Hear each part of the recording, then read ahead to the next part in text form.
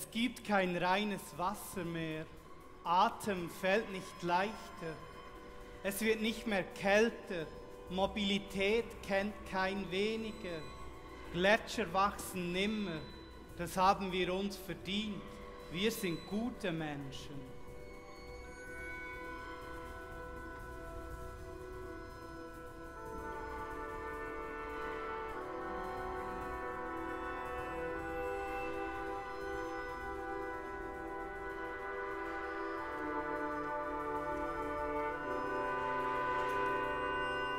Meeresspiegel senken sich nicht, Böden verdauen kein Gift ohne Unterlass.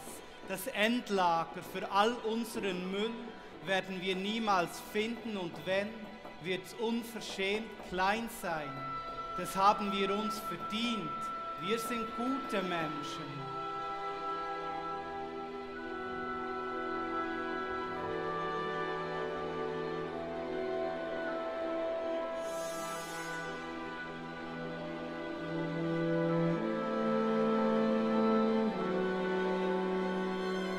Leisten uns den Luxus zu verzichten und unter Applaus darüber zu sprechen. Doch heißt verzichten nicht, dass wir auf irgendetwas verzichten müssen. Die Grundbedürfnisse vermehren sich, sind niemals zu befriedigen. Wir schaffen das.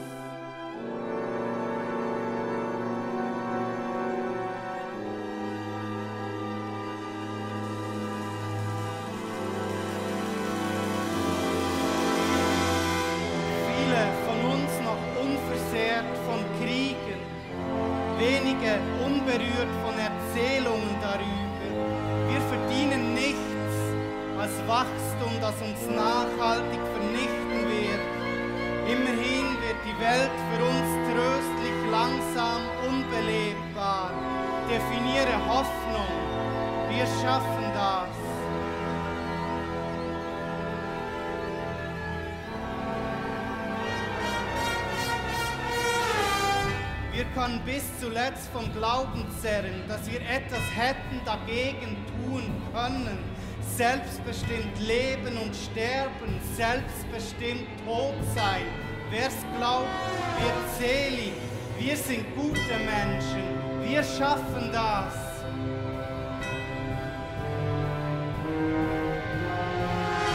Die einzig wirklich relevante Frage auf globalen Podien aber bleibt, Wer kommt für die Kosten der nicht enden wollenden Selbstzerstörung auf? Lasst uns darüber schlafen. Wir schaffen das. Die Schatten unserer Hände kreisen über weißem Papier. Im Namen des heiligen Nichts verschweigen wir dieses Gedicht. Da fallen Steine von unseren Herzen. Weltgeschehen müde heben wir sie gegen die Sonne. Bernsteine.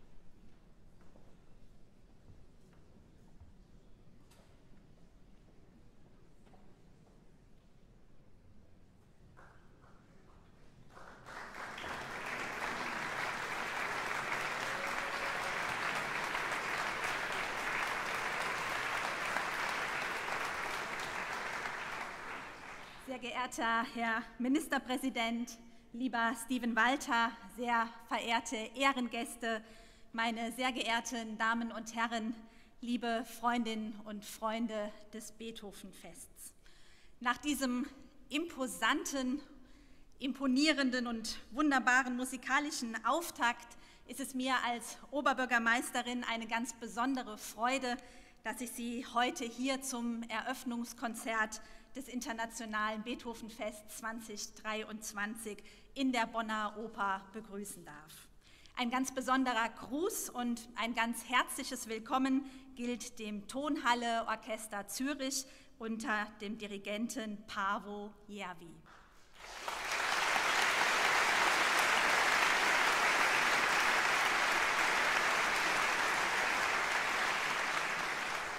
Ebenso herzlich begrüße ich die anwesenden Gäste aus Politik, Wirtschaft, unserer Stadtgesellschaft, ganz besonders Frau Bundesministerin Clara Geiwitz, die extra heute zu uns nach Bonn gekommen ist, die anwesenden Ministerinnen und Minister des Landes Nordrhein-Westfalen, die Damen und Herren Abgeordnete aus dem Europaparlament, aus dem Bundestag und aus dem Landtag Nordrhein-Westfalen, die Mitglieder des Rates der Stadt Bonn und den Ehrenbürger unserer Bundesstadt Bonn, Herrn Dr. Hans Daniels und seine Frau.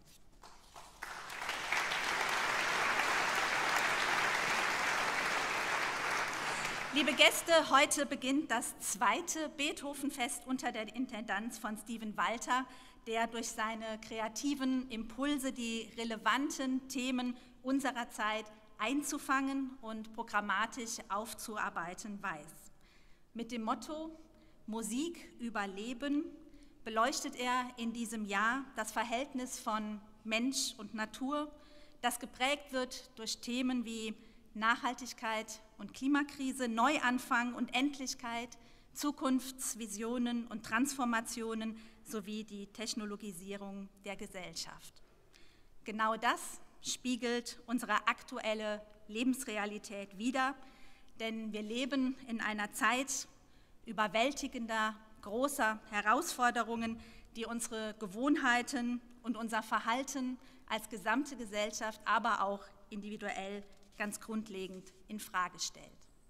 Das Spannungsverhältnis von Natursehnsucht und Fortschrittsbegeisterung, das beschäftigt die Menschen seit der Industrialisierung und sind dient seither vielen Künstlerinnen und Künstlern als Inspiration, was wir ja auch bei den beiden Stücken des heutigen Abends, die bereits gespielt wurden, spüren konnten. Musik hat in besonderer Weise die Fähigkeit, Emotionen zu wecken und so die Seele der Menschen zu erreichen. Musik kann aufwühlen und euphorisieren, sie kann erheitern und erregen, sie kann rühren und trösten, aber auch erden.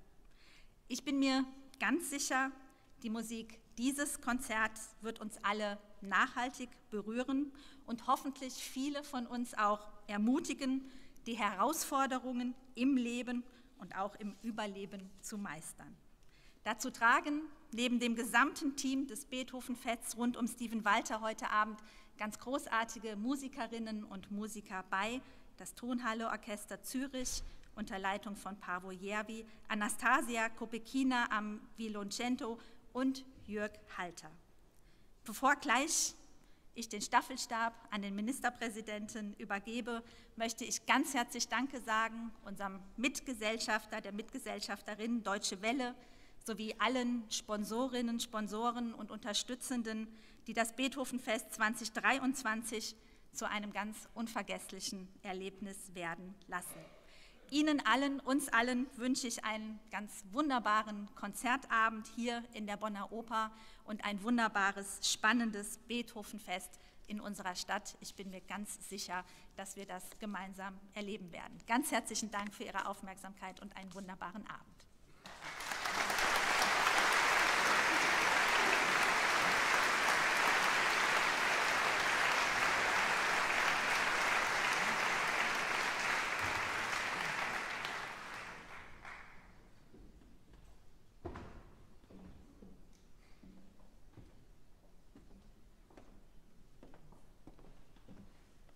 So, das Komplizierteste habe ich geschafft, hierher zu kommen, ohne mir die Ohren zu brechen.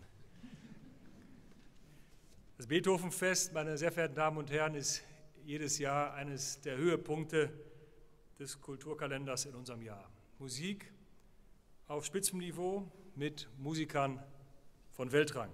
Ein Markenzeichen nicht nur für Bonn, die Region, sondern für unser ganzes Land.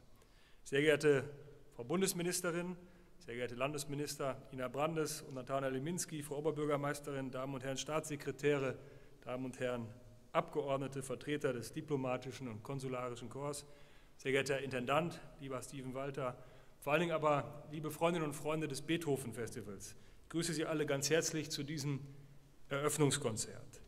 Musik über Leben. Ich habe gedacht, das zu interpretieren wäre schon schwierig. Zum Glück muss ich nicht das eben Vorgetragene interpretieren. Aber auch Musik über Leben, drei Worte, ist nun wirklich so grundlegend, dass man lange darüber sprechen könnte. Oder man lässt es ein Stück weit auf sich wirken. Es passt jedenfalls zu Beethoven. Beethoven, ja, klassische Musik selbstverständlich, aber er war ein musikalischer Revolutionär gleichzeitig überzeugter Humanist. Am Beginn unseres Zeitalters mit Ideen, die damals eben revolutionär waren, unsere Zeit bis heute zum Glück prägen, Demokratie und Menschenrechte. Und als hätten wir bei der Terminierung des heutigen Tages absichtlich gehandelt, ich vermute, wir haben es nicht, genau heute vor 75 Jahren kam hier in Bonn der Parlamentarische Rat zusammen, an dessen Ende unser Grundgesetz stand.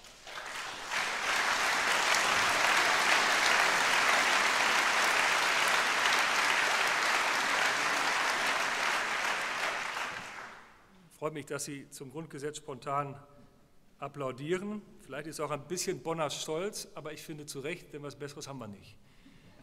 Eine Ordnung. Das wäre jetzt ein westfälischer Superlativ. Eine Ordnung, eine Ordnung auf Basis von Menschenrechten, eine Verfassung, die die Würde des Menschen an erste Stelle stellt. Wirklich an aller, allererste Stelle. Artikel 1, Absatz 1 Satz 1. Die Würde des Menschen ist unantastbar. Das ist, wenn man nichts verstanden hat von diesem Grundgesetz und auch sonst nicht viel verstehen will, der Geist, der Kern dieses Grundgesetzes. Die Grundlage für ein friedliches, für ein freies Deutschland in einem geeinten Europa. Europa mit Beethovens Musik, seiner neunten Sinfonie als Hymne. Mein Gott, was kommt hier heute alles so wunderbar zusammen? Meine Damen, meine Herren, ein zweites wichtiges Thema stellt sich mit höchster Dringlichkeit. Thema dieser Beethoven-Spiele. Verhältnis zur Natur, Verhältnis zur Schöpfung. Basis unseres Lebens, die unser Leben auch bedrohen kann, die Natur. In der Pastorale ist beides zu spüren, aber am Ende bleibt ein harmonisches Ganzes. Ob Beethoven sich wohl hat vorstellen können, dass wir Menschen diese Harmonie schwer ins Kippen bringen, indem wir das Klima verändern, indem immer mehr Tier- und Pflanzenarten verschwinden. Beethoven hat die Natur geliebt, schöpferische Energie für sein Werk aus der Natur gezogen. Seine Musik, sein Werk sollte uns Ansporn sein, die Natur in ihrer Großartigkeit zu erhalten. Mit Mut zum Neuen, mit Beharrlichkeit und schöpferischer Kreativität, Tugenden, die auch hinter großer Kunst stehen. Danke ganz herzlich Steven Walter als Intendant, Pavo Järvi als Dirigent, dem Tonhalle Orchester Zürich und allen anderen Mitwirkenden, vor allen Dingen aber dem Team des Beethovenfestes ganz herzlichen Dank für Ihre Mühen, für all die Impulse zu den großen Fragen unserer Zeit abgeleitet, interpretiert durch und mit Beethoven. Das kann nur ein Genuss werden. Ich freue mich sehr drauf. Ich hoffe, Sie auch. Ihnen und uns allen einen schönen Abend.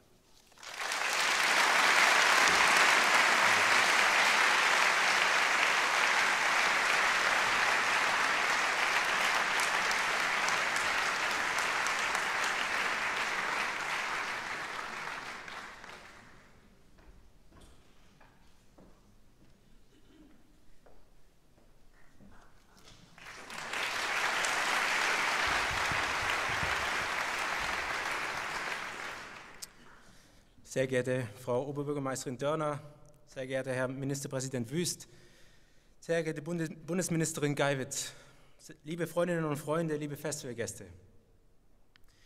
Der Zugenthusiast Arthur Honegger hatte jeden Grund, euphorisch zu sein, als er im Jahr 1932, 1923 musikalischen Ausdruck für die atemberaubende Kraft der Dampflokomotive Pacific 231 suchte, welch eine phänomenale, überwältigende, mit den Gesetzen der Natur die Beschränkungen des Lebens aushebelnde Erfindung. Was für ein Triumphzug der Menschheit. Und der Zug rollte weiter. Heute, 100 Jahre später, möchte man nicht 100 Jahre früher leben. Denn der Fortschritt tausender, tosender und ganz stiller Erfindungen haben uns weit auf den Weg gebracht in eine vermeintlich beherrschbare Welt. Wir haben viel gewonnen und doch, so scheint uns, auch etwas Unendliches verloren. Es ist uns der Kontakt und wenn auch, und ein, wenn auch misstrauisches Einvernehmen mit der Natur abhanden gekommen. Und die nur scheinbar überwundene Natur, die will auch nicht mehr.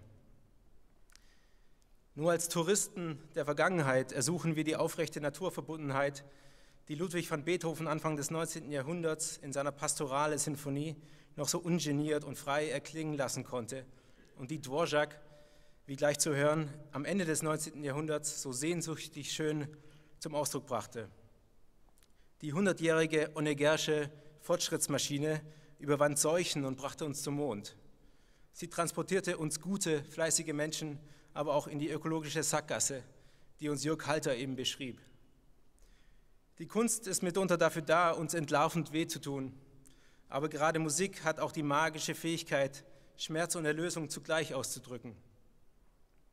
Beethoven war der große Meister darin und gleich hören wir mit Dvorak, wie viel sehnsüchtige Zuversicht, ein Lachen unter Tränen in der Musik stecken kann, wie sehr das Wunder des Lebens und des Lebendigen in ihr durchscheint. Das ist also an diesem, da ist also an diesem heutigen Abend vorgezeichnet, worum es beim diesjährigen Beethovenfest geht, nämlich um diese einfachste und doch komplexeste, voraussetzungsreichste Sache, Leben. Ein prall gefülltes Festival über das Verhältnis des Menschen zur Natur im Wandel der Zeit, über das menschliche Leben, ihre Endlich und Einsamkeit innerhalb der zyklischen Lebendigkeit, die uns eint mit der Natur. Dabei stellen wir wieder fest, dass wir als Menschen Musik zwar vielleicht nicht zum Überleben, wohl aber offenbar zum Leben brauchen. Und nicht zuletzt geht es in unseren rund 100 Veranstaltungen um Transformation und Zukunft. Das eine, das alles Leben eint, ist doch die Fähigkeit, sich zu verändern, sich anzupassen, zu transformieren. Egal ob Spezie, Staat, Unternehmen oder Musikfestival, nur was sich wandeln kann, kann leben. Beethovens Biografie und sein unendlicher künstlerischer Einfallsreichtum stehen für dieses ständige Weitersuchen. Und Dvoraks Symphonie aus der neuen Welt beschreibt diesen so aktuellen Gang ins Offene. Denn auch wir werden eine neue Welt erleben und gestalten. Das ist die einzige Zukunft, die ich von hier aus sehen kann. Und so hoffen wir, dass von diesem Abend und dem gesamten Festival einerseits eine kunstgerechte, beethoveneske Schonungslosigkeit andererseits aber auch ein vehementer Optimismus ausgeht. Grund gibt es dazu durchaus. Wenn der Mensch eines ist, dann doch ein anpassungsfähiges, reges und findiges und irgendwie auch liebenswürdiges Wesen. Wir, wir können gute Menschen sein, wir können das schaffen. Die sehr gute Resonanz auf das diesjährige Beethovenfest bis jetzt zeigt, dass Beethoven und das ganze große Kontinuum der Kunstmusik eine lebendige Tradition ist. Eine Tradition, die uns etwas angeht und der viel Zeitgenossenschaft innewohnt. Es muss viel zusammenkommen, damit so ein ambitioniertes Beethovenfest Realität werden kann. Ganze demokratische Organe müssen sich darauf verständigen, dass es uns als Gesellschaft das wert ist. Zahllose Unternehmen und Privatpersonen müssen sich zur Unterstützung bewegen. Aus dem Chaos der Möglichkeiten muss ein großartiges Team ein kohärentes Programm zusammenstellen, entwickeln und umsetzen, damit dann gleich eine fantastische Anastasia Kobekina vermittels unglaublicher Feinmotorik und Klangsensibilität vier Stahlseiten über einem hölzernen Resonanzraum so zum Schwingen bringt, dass es uns tatsächlich im Herzen rührt. Und vom Orchester ganz zu schweigen. Und all das auf einem Staubball irgendwo im lebensfeindlichen Weltraum. Eigentlich ist es ein Wunder oder eben das Leben. Ich danke der Stadt Bonn, dem Land Nordrhein-Westfalen, der Deutschen Welle, unseren Hauptsponsoren Deutsche Telekom, DHL Group, der Sparkasse Köln-Bonn und allen Förderern sehr, sehr herzlich für die Unterstützung und unserem großartigen Publikum für die offenen Ohren. Und ich wünsche uns allen ein wunderbares, lebendiges Beethoven-Fest Bonn im Jahre 1900, nee, 20, zum Glück 2023.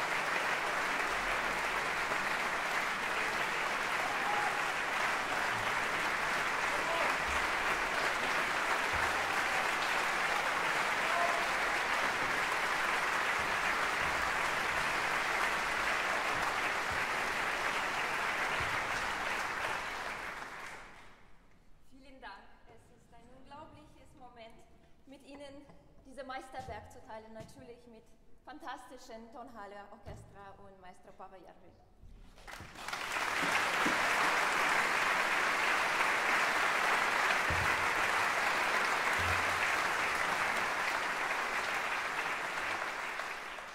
Wissen Sie, ich habe einen Lieblingskomponist. Da bin ich aber nicht so objektiv, äh, weil äh, es mein Vater ist.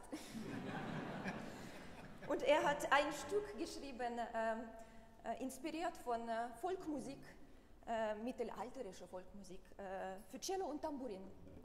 Ähm, und heute habe ich eine große Freude, mit den äh, Mitgliedern dieses wunderbaren Orchesters, Klaus Schwärzel, zusammenzuspielen. Mit einem großen Willkommen Applaus.